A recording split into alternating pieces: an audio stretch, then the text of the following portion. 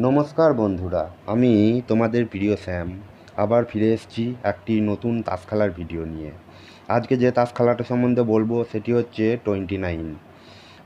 তোমরা সবাই twenty nine খেলা মোটামুটি জানো, কিন্তু সবাই জানো না। যারা জানো না, তাদেরকে জন্যেই আমি আজকে সম্পূর্ণ টিউটোরিয়াল এবং সমস্ত নিয়ম টোয়েন্টি নাইনের আজকে দেখাবো এবং কিছু টিক্স এবং স্ট্র্যাটেজিও বলব।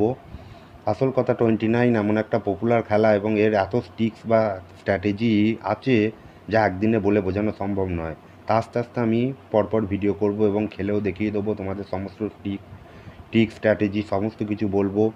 জিততে হলে কীভাবে খেলতে হয়, কীভাবে নিজের হাত পার্টনারের সঙ্গে ইশারায় বা অন্যান্য পদ্ধতিতে শেয়ার করতে হয়, জানাতে হয় সব কিছু তোমাদের বলব। তা ভিডিওটা আমার সঙ্গে যুক্ত থাকো এবং আমার বাকি সমস্ত ভিডিও এবং অন্যান্য টিউটোরিয়াল, অন্যান্য খেলার ভিডিও যদি দেখতে চাও, তাহলে আমার চ্যানেলটাকে অবশ্যই সাবস্ক্রাইব করে রেখো। তাহলে বন্ধুরা, শুরু করা যাক। আচ্ছা টোয়েন্টি নাইন খেলায় যে তাস দরকার, তার মধ্যে বত্রিশটি তাস খেলা হয় টোয়েন্টি নাইন খেলাটা। যেমন এই যে সাত, আট নয় দশ গোলাম বিবি সাহেব টাকা। এই যে আটটি তাস আছে, এই চারটি কালারের এই আটটি তাস, আটটি করে তাস নিয়ে খেলা হয়। মোট বত্রিশ কার্ড নিয়ে খেলা হয় এবং চারজন মিলে খেলে, জুড়ি করে। এই টোয়েন্টি নাইন খেলা একজনার খেলা নয়, এখানে দুজন দুজন করে পেয়ার করে খেলা হয়। এবার দুজন খেলার মধ্যে যারা একই দলের, তারা মুখোমুখি বসে এবং অপোনেন্ট যারা, তারা একজন ডান দিকে, একজন বাঁ দিকে বসে।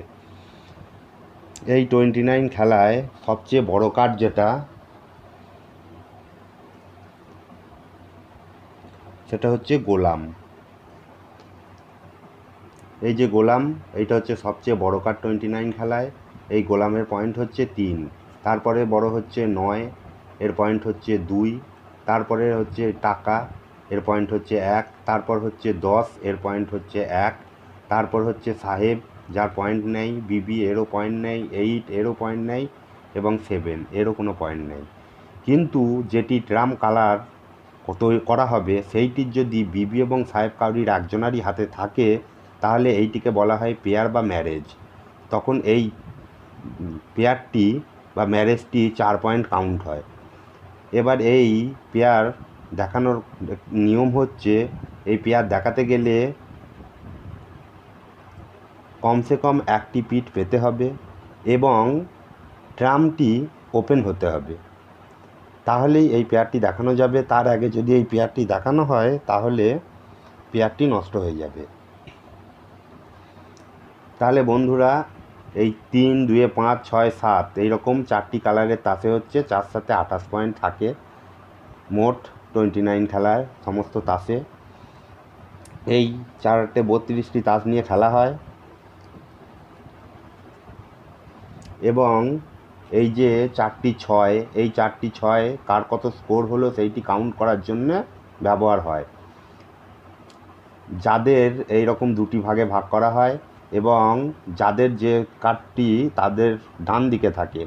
যেমন ধরুন, এই রকম চারজন বসেছি, এই আমার ডান দিকে যদি থাকে তার মানে আমাদের হচ্ছে এই বোর্ড স্কোরটা আর এইখানে যে বসবে তার ডান দিকে যদি এইটা থাকে, তাহলে বুঝতে হবে ওটা ওদের স্কোর এইবার যদি যে রং করবে তাদের দিকের কার্ড থেকে স্কোর তৈরি হয়। যদি আমি রং করে জিতি, তাহলে লাল বেরোবে এবং যদি রং করে হেরে যাই, তাহলে কালো বেরোবে। একটি যদি রং করে জিতে যাই, তাহলে একটি বেরোবে এবং হেরে গেলে একটি কালো বেরোবে। যদি কেউ ডবল দেয়, তাহলে দুটো বেরোবে এবং যদি কেউ রিডবল দেয়, চারটে বেরোবে। ডবল রিডবলের কথা আমি পরে আসছি। আর এই যে দুই তিন চার পাঁচ, দুই তিন চার পাঁচ, এই যে ষোলোটি কার্ড এই ষোলোটি কার্ড ট্রামের কালার নির্বাচন করতে কাজে লাগে। যে ট্রামের কালার নির্বাচন করে মানে যে রং করে, সে এই চারটি কালারের মধ্যে যে কোনো একটি রং করে এবং বাকি তিনজন যাতে দেখতে না পায়, সেইভাবে রংটি করে এরকম চাপা দিয়ে রেখে দেয়। যতক্ষণ না কেউ ওই রং ওপেন করছে, ততক্ষণ বাকি তিনজন দেখতে পায় না। এই চারটি কার্ডের আরেকটি কাজ হচ্ছে, যখন এইখানে কারুর ছটি লাল বা ছটি কালো হয়ে যায়, তখন এটিকে বলা হয় সেট। তখন এই সেটের ওপর যদি লাল সেট হয়, তাহলে একটি লাল কার্ড দিয়ে ঘোষণা জানানো হয়, যেখানে একটি লাল সেট হয়েছে। এবং যদি কালো সেট হয়, তাহলে একটি কালো তাস দিয়ে জানানো হয়, যেখানে একটি কালো সেট হয়েছে। এছাড়াও এই তাসে আর একটি কাজ হচ্ছে, এই টোয়েন্টি নাইন খেলায় মোটামুটি আট, বারো বা ষোলো বাজির খেলা হয়। এবার এই বাজিগুলো কাউন্ট করার ক্ষেত্রেও এই কার্ড ব্যবহার করা হয়। যেমন যদি দ্বিতীয় বাজি রানিং চলে, তখন এরকম দুই দেওয়া হয়। যদি পঞ্চম বাজি রানিং হয়, তাহলে সেই সাইডে একটা পাঁচ ফেলে রাখা হয়। যদি দেখা যায় নবম বাজি চলছে, তাহলে এইরকম দুটি কার্ড ফেলে রাখা হয়। এইভাবে কাউন্ট করা হয়। তাহলে বন্ধুরা, এবার আমি ডিলিং সিস্টেম বলছি, এই কার্ডের যে ডিলার হয়, সে ডান দিক দিয়ে কার্ড বিলি করে। টোয়েন্টি নাইন খেলা ক্লকের অ্যান্টি ক্লক ওয়াইজ ঘোরে এবং ডান দিক দিয়ে ঘোরে। যে প্রথমবার ডিলার করে, তার ডান দিকে যে আছে, সে পরের বার ডিল ডিলিং করে, তার পরের বার, তার ডান দিকে যে আছে, সে ডিল করে। তা প্রথমবারে আমি বিলি করছি বা ডিলিং করছি। তাসটা একই রঙে সাজানো হয়ে গেছে, তাই কয়েকবার ফাটালাম। কিন্তু এই টোয়েন্টি নাইন খেলার নিয়ম হচ্ছে, দুবারের বেশি তাস ফাটানো যায় না। এখানে রাসগুলো সব এক কালারের করা ছিল বলে আমি কয়েকবার ফাটালাম। তো এখানে চারটি করে তাস প্রথম বিলি করা হয়।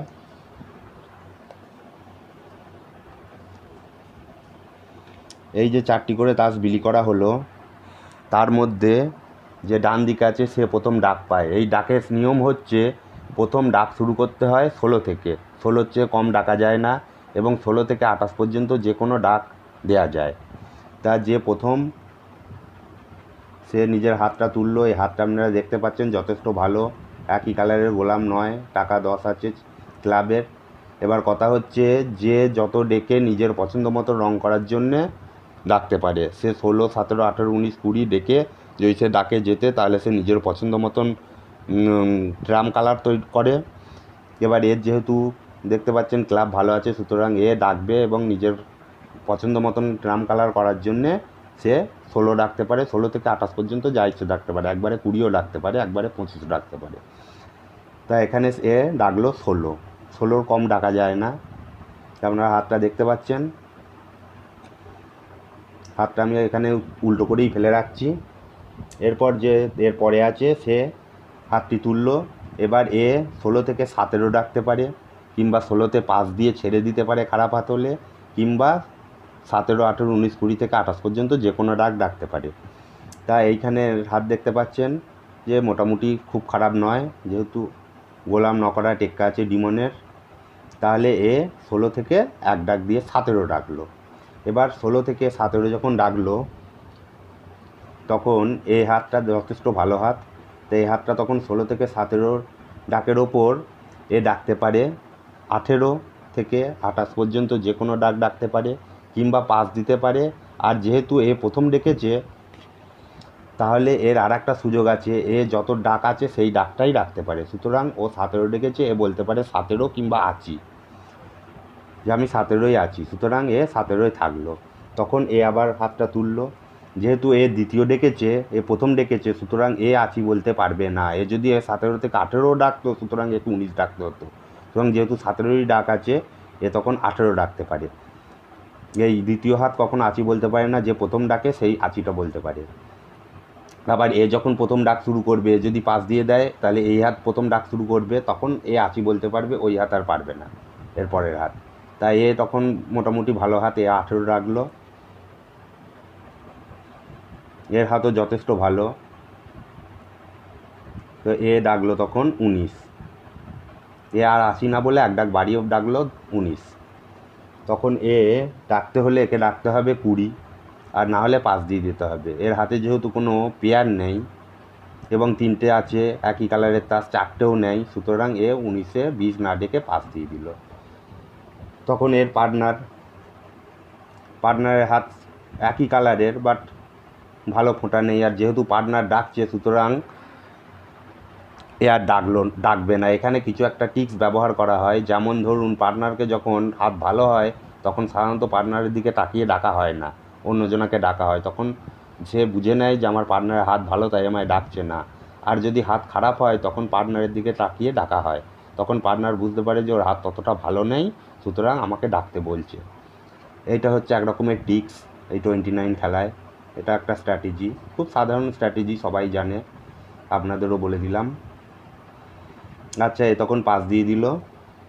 ডাকটা উনিশের আছে। তখন এই হাত মানে আমার হাত তুললাম। হাতটা খুবই বাজে, দেখতে পাচ্ছেন? এই হাত নিয়ে তাও পেয়ার আছে, ডাকা যায়। তাহলে এই হাত একটা ডাক ডাকার চেষ্টা করতে পারে, কিন্তু রিস্ক নিল না। তাই উনিশেই পাস দিয়ে দিল। তাহলে এই হাত রং করতে পারছে। কতই রং করছে? উনিশে। তাহলে আপনি দেখতে পাচ্ছেন এই হাতে ক্লাব ভালো আছে, সুতরাং এ হাত রং করবে।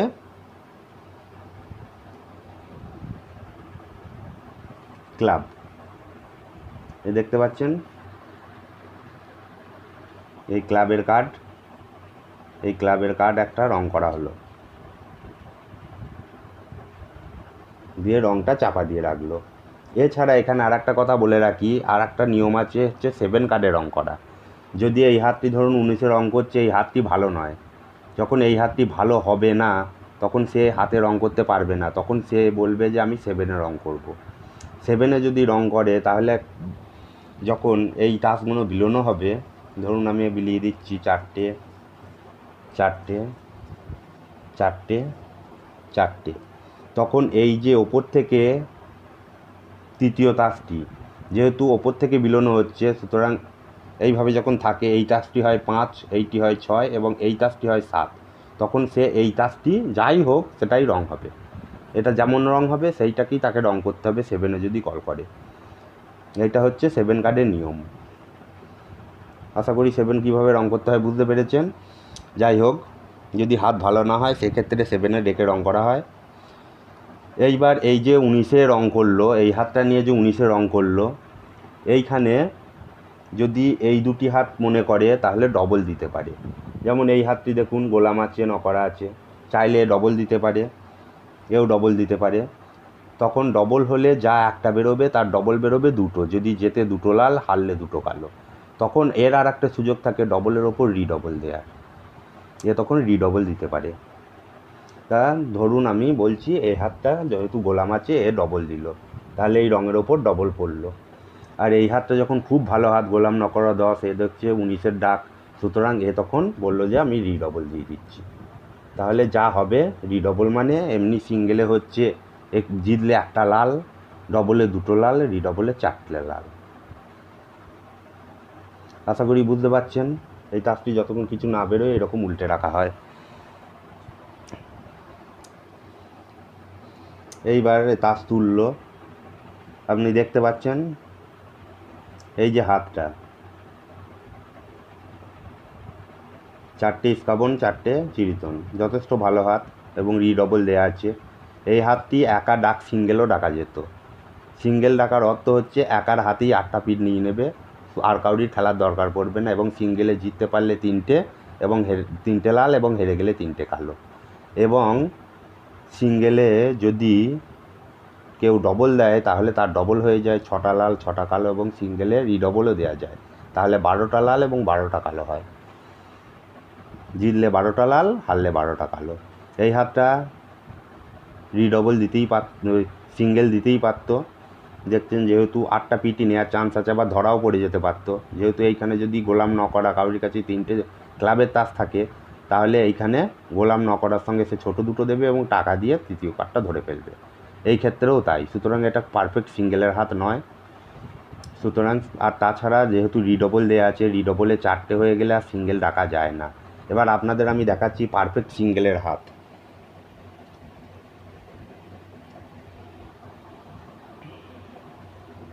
এই রকম যদি কেউ একটা হাত পায়, আপনারা দেখতে পাচ্ছেন, ইস্কাবনের মানে স্পেডের গোলাম নয়, টাকা দশ ক্লাবের গোলাম নয় এবং হাটের গোলাম নয়। এই হাটতে কেউ যদি সিঙ্গেল ডাকে, সেই হাতটা হচ্ছে পারফেক্ট সিঙ্গেল। কারণ সিঙ্গেল খেলায় একটা নিয়ম হচ্ছে, সিঙ্গেল খেলায় ওই রঙের আর কখনো কাজ থাকবে না। প্রথম যে হাতটি, যে কার্ডটি খেলবে, সেইটি হয়ে যাবে রং। সুতরাং এইখানে যেহেতু চারটে স্পেড আছে, সুতরাং যদি অপোনেন্টের হাতে বাকি চারটে স্পেড থাকেও, তাহলে এইখানে চারটে স্পেডের সঙ্গে ধরা পড়ে যাবে। তখন আর তার কাছে অবশিষ্ট স্পেড থাকবে না ট্রাম করার মতন। তখন বাকি এই গোলাম না করা গোলাম না করার পিঠ পেয়ে যাবে এবং সিঙ্গেল উঠে যাবে। কিন্তু এই হাতটায় যদি দেখা যায়, যে হাতটা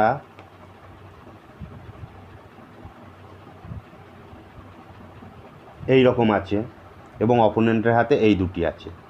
এই দুটি অপোনেন্টের হাতে আছে, বাকি কার্ডের সাথে এবং যে সিঙ্গেল রেখেছে তার হাতটি হচ্ছে এই রকম তখন দেখা যাবে যে এই যে ছটি কার্ড খেললো, ছটি কার্ডের সঙ্গে এই অপোনেন্ট বাকি ছটি কার্ড দিয়ে দিল এবং এই দুটি কার্ড ধরে থাকল। তখন সে যখন যে সিঙ্গেল রেখে সে যখন গোলাম খেলবে, তখন এই সাহেবটি দিয়ে দেবে এবং সে যখন দশ খেলবে, তখন এই নকরা দিয়ে এই পিঠটাকে ধরে ফেলবে এবং যে সিঙ্গেল রেখেছে সে হেরে যাবে। আশা করি বুঝতে পেরেছেন সিঙ্গেলের ব্যাপারটা। তাহলে এইবারে হাতটা তুলছি। এই হাতটি, এর হচ্ছে এই হাতটি। হাতগুলো সব উল্টেই দেখাচ্ছি। এটি হচ্ছে দ্বিতীয় হ্যান্ড এটি হচ্ছে তৃতীয় জনার হ্যান্ড এবং এটি হচ্ছে চতুর্থ জনের হাত।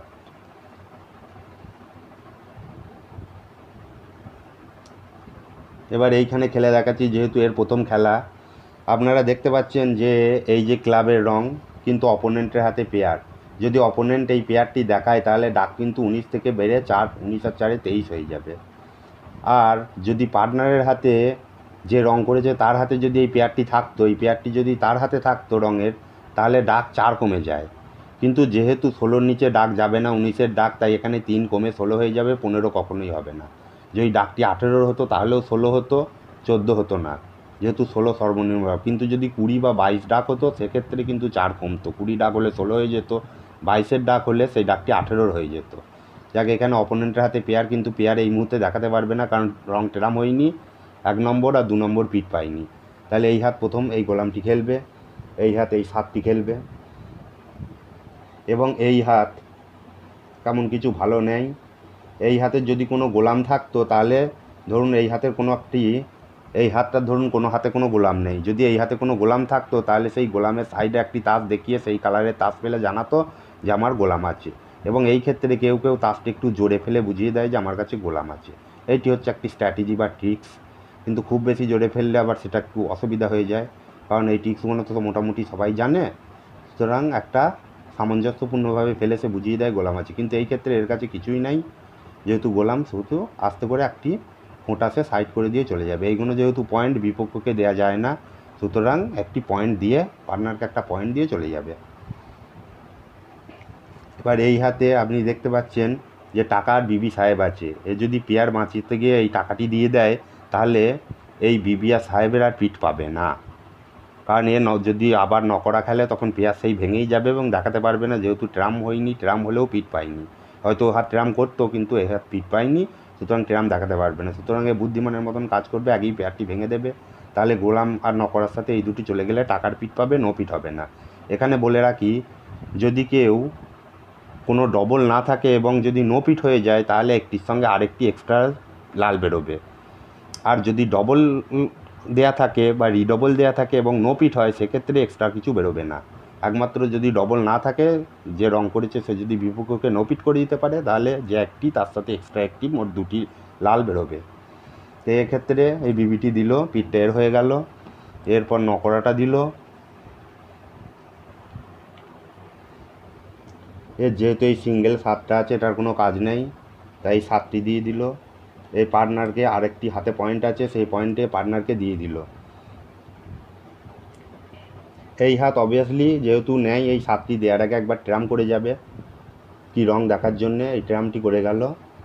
দিয়ে দেখল যে রং নেই, এইটাই রং, সুতরাং এইটা দিল এইটা দিল, এ তখন এই সাহেবটি দিয়ে দিল। পেয়ারটি ভেঙে গেল, কিন্তু একটি পিঠ পাবে নো হবে না। তাহলে হলো এই দুটো। তখন এ খেললো কি, দেখল চার। যেহেতু তিন আর দুয়ে পাঁচ কাঠ ক্লাব চলে গেছে। সে তখন দেখছে যে আমার হাতে পাঁচ পাঁচ কাঠ ক্লাব চলে গেছে। প্রথমে তিন কাঠ তারপরে দু কাঠ পাঁচ কাঠ এই দেখছে হাতে আর দু কাঠ ক্লাব আছে, সাত কাঠ তাহলে বিপক্ষের হাতে একটি আছে এবং সে গুনে দেখল যে বিপক্ষের হাতে টিক্কা আছে। সুতরাং সে আর এই দশ পয়েন্টটি খেলবে না, যেহেতু এই আটটি খেলবে। যখন এই ছোটো আটটি খেললো, তখন এই পার্টনারকে বুঝে নিতে হবে যে যে এখানে ছোটো আটটি খেলেছে যখন, সুতরাং এর, আমার পার্টনারের কাছে হয়তো বড় রং থাকতে পারে। সুতরাং আমাকে একটি বড় ফোঁটা দিয়ে যেতে হবে। এখানে যেহেতু দেখছেন, রুইতনের গোলাম, নকরা এবং টেক্কা তিনটেই আছে। শুধু তিনটের পিঠ পাওয়া সম্ভব নয়, সে তখন এই গোলামটি দিয়ে চলে গেল। এই গোলামটি দিয়ে চলে গেল। এও তখন বুঝতে পারল যে, ছোট রং খেলেছে যখন পার্টনারের পিঠ নয়, এর হাতে এমনিতে ফোঁটাও নেই। পয়েন্ট যেটা বলে, আমাদের কথায় বলা হয় ফোঁটা। যাই হোক, এই পয়েন্ট ছাড়াই সে খেললো। এবং এই টাকা দিয়ে এই পিঠটি পেয়ে গেল। তাহলে এই পিঠটি যখন সে পেয়ে গেল, এ তখন দেখছে যে আমাকে যদি খেলতে হয়, তাহলে পার্টনার এই গোলামটি দিয়েছে। তাহলে পার্টনারের হাতে যদি গোলামটার পরে পরক্ষণে আর কিছু একটা থাকতে পারে বড়, তাই সে এই সাতটি খেললো। এই হাতটি যখন দেখছে যে আমি যদি এইখানে ট্রাম না করি, তাহলে একটি পিঠ চলে যাবে এবং সে গুনে দেখল যে অসুবিধা আর নেই, একটা তাস ঘুষিয়েও যেতে পারে, কিন্তু আবার ট্রামও করে যেতে পারে। এখন যদি ট্রাম না করে, সে পরবর্তীতে আবার খেলবে। সুতরাং এ ঘুষিয়ে চলে গেল একটি তাস। ট্রাম করলে সে গোলাম ন করার পিঠ পাওয়ার পর এই দুটো পিঠ দিতে হবে এবং সে বুঝতে পারছে যে এই দুটো পিঠে খেলা হয়ে যাওয়ার একটা চান্স আছে। এর যেহেতু এর গোলাম চলে গেছে, সুতরাং বড় পয়েন্ট কিছু পাবে না নকরা পাবে, একটি পয়েন্ট কম হবে, সুতরাং সে একটি তাস ঘুষিয়ে গেল। এ তখন এখানে ডিমনের খেলায় নয়টি দিয়ে দিল এবং এ হাতে যেহেতু ফোঁটা নেই, এ ডিমনের খেলায় একটি আট দিয়ে দিল। এবং এ হাত একটি পয়েন্ট পেল, এবার খেলা হচ্ছে এই হাতের। এই হাত তখন এই গোলামটি চাললো। এই হাত এই আটটি দিল। এই হাত তখন গোলামে দেখছে যে একটি কার্ড আছে নকরা সে ফোঁটাটা দিয়ে গেল। তখন এই হাতটি দেখছে যে এইবার সুযোগ আছে, একটা ট্রাম করতে হবে অনেক পয়েন্ট আছে। সঙ্গে ট্রাম করে হাটের পিঠটি নিয়ে নিল। তারপরে গোলামটি খেললো। এই গোলামে এই সাহেবটি দিল, এই বিবিটি দিল, এই বিবিটি দিল। পিঠে পেল, তারপরে এই নকরাটা দিল। এ তখন একটা ফোঁটা দিতে বাধ্য, যেহেতু দুটোই পয়েন্ট তখন এই একটি পয়েন্ট দিল, এই বিবিটা দিল। এ তখন এই সাহেবটি দিল, এই পয়েন্টটি পেয়ে গেল। এবার এই দশটি খেললো। এই টাকাটি দিল অবশিষ্ট, এই সাহেবটি দিল, এই টাকাটি দিল। তাহলে এই পয়েন্টটি যেহেতু টাকা আছে, এর হয়ে গেল। তাহলে এখানে যে উনিশে রং করেছে, তাকে উনিশ পয়েন্ট পেয়ে দেখাতে হবে। যেহেতু সে উনিশে রং করেছে, সুতরাং পয়েন্ট গোনা যাক। এক, দুই, তিন, চার, পাঁচ, ছয়, সাত, আট, নয়, দশ, এগারো, বারো, তেরো, চোদ্দ, পনেরো, ষোলো, সতেরো, আঠেরো, উনিশ, কুড়ি। যেহেতু উনিশ পয়েন্ট দেখেছিল, উনিশ পয়েন্ট দরকার ছিল কুড়ি পয়েন্ট তুলে ফেলেছে, সুতরাং জিতে গেছে। সুতরাং এখানে রিডবল ছিল, যেহেতু আপনারা দেখতে পাচ্ছেন, এইটা রং করেছিল, এইভাবে প্রথম সিম্পল থাকে, ডবল দিলে একটি উল্টানো হয়, আর রিডবল দিলে কয়েকটি কার্ড একটির বেশি উল্টে দেওয়া হয়। সুতরাং রিডবল দেওয়া ছিল, সুতরাং এই কার্ডটা হচ্ছে অপোনেন্টের সুতরাং এই কার্ডে চারটি লাল বেরোবে। যারা খেলছে তাদের ডান দিকে তাদের কার্ড থাকে, সুতরাং যে রং করেছে তাদের কার্ডে বেরোবে, চারটে লাল জিতে গেছে, তাই। এই কার্ডটা কিছুই বেরোবে না, কারণ এদের রং করলে এই কার্ডটা বেরোতো। আর এদের যেহেতু উনিশের ডাক, এদের তুলতে হতো উনিশের পর থেকে উনত্রিশ পর্যন্ত। আপনাদের এটাও দেখিয়ে দিচ্ছি, উন- উনিশের পর কুড়ি, তিনে তেইশ, চব্বিশ পঁচিশ, ছাব্বিশ, সাতাশ, আঠাশ। আর একটি পয়েন্ট যদি এ হাত পেতো, তাহলে উনত্রিশ হয়ে গেলে এরা জিতে যেত। কিন্তু যেহেতু একটি পয়েন্ট তুলতে পারিনি, তাই হেরে গেছে। এই উনত্রিশ পয়েন্ট বিপক্ষে যে রং করেছে তার বিপক্ষে তুলতে হয় বলে এই খেলাটির নাম টোয়েন্টি নাইন। আশা করি আপনারা বুঝতে পেরেছেন কীভাবে খেলাটি হয়। এর পরবর্তী ভিডিওতে আমি আরও ভালো ডিটেলসে খেলে দেখিয়ে দেবো। এটাই জাস্ট রুলসটা কেমন সেটা আপনাদের একটু বোঝাবার চেষ্টা করলাম। নেক্সট ভিডিওয়ে আমি সমস্ত বন্ধুদের সঙ্গে খেলে এবং আরও অন্যান্য স্ট্র্যাটেজি কীভাবে খেলতে হয়, তারপর ট্রিক সমস্ত কিছু বোঝাবো। আজকের ভিডিওটা এইখানেই শেষ করলাম। ভিডিওটি ভালো লাগলে ভিডিওটি অবশ্যই লাইক করবেন কমেন্ট করবেন এবং শেয়ার করবেন। আর যদি আমার চ্যানেলটি ভালো লাগে, তাহলে অবশ্যই চ্যানেলটি সাবস্ক্রাইব করে নেবেন। কারণ এই রকম নিত্য নতুন ভিডিও নিত্য নতুন গেম খেলার ভিডিও আমি তৈরি করি। আর অন্যান্য ধরনের ভিডিও আমি তৈরি করার খুব চেষ্টা করছি। খুব শিগগিরই আমি এই তাস খেলার গেম ছাড়াও অন্যান্য নানা রকম গেমের ভিডিও আপনারা তৈরি করে দেখাবো। যাই হোক, আমার চ্যানেলের সঙ্গে থাকবেন। ধন্যবাদ ভিডিওটি দেখার জন্য।